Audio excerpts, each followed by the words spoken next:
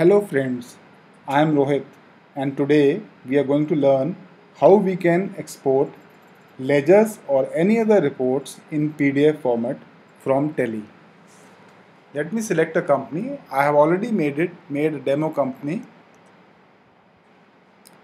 and in this company I will show you how to export a ledger account of a given company, given ledger in PDF format. So first we'll go to display,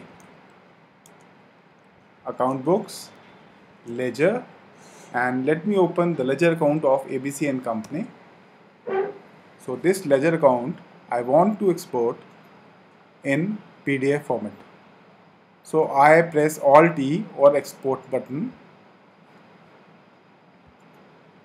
Language will be default.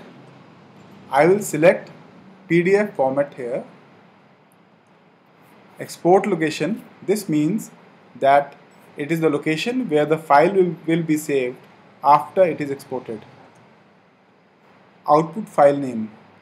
Default, in default it is tally.pdf but we can change it to our own required name. I will keep the name abc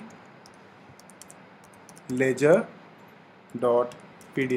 Please note any name can be given but .pdf or the extension of pdf has to be mentioned here.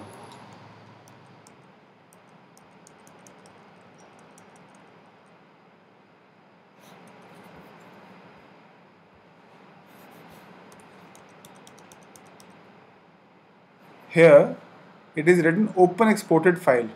It means that after the file is exported, it will open up.